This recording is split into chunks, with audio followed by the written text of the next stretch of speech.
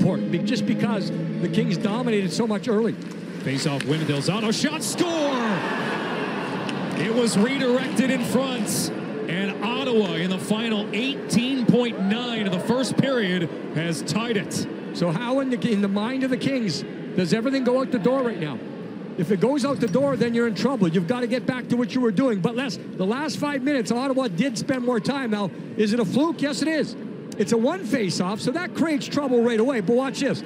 The shot hits one King, and then floats, floats, floats. And you can see Cal never picked it up, but it hits the stick of Iafallo on his way out to block the shot on the one face-off. And just like that, we're tied at one.